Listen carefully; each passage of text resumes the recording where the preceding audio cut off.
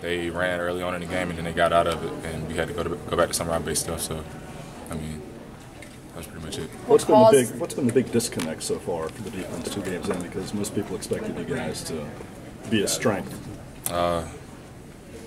Honestly, communication. That's really just been it. Uh, everybody being on the same page. That's it. Do you feel like there's been a strong enough separation of leaders that would enable that communication to be what it needs to be? Yeah, we have we just- have uh, we have really good leaders on the team. Um, guys like Donnie Miles, MJ Stewart, uh, Dewan Drennon, Tyler Powell, Dre, Cole, me. You know, we have good leaders on the team. We just got to do a better job of, you know, stepping up when you know our backs are against the wall, getting everybody to be on the same page and buy in. What's causing the communication breakdowns? I couldn't tell you. with as many veteran guys as you have, how shocked are you that there is that kind of problem? It's shocking.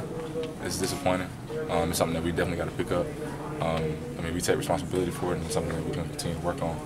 Um, but it's something that we're not really happy with. You guys did make some stops at a couple of times you turned them over on downs, but for stretches it looked like there was like a snowball effect out there. Did you feel like that was t- going on get up. We couldn't get off the field. You know, third. We one of our goals is win on third down, and we weren't we weren't really able to do that. Um, and that's something again that we got to come back tomorrow and work on. Work on. Look at you know where we were wrong, and, and fix going into next week. Case in fourth down, 10 minutes to go in the game. They hit you with a 30-yard scoring pass over the middle. Do you remember that play? Were you on the field? What I wasn't on the field. Uh, could you? was What was the breakdown there? again communication. Um, everybody just being on the same page. That was it. What's the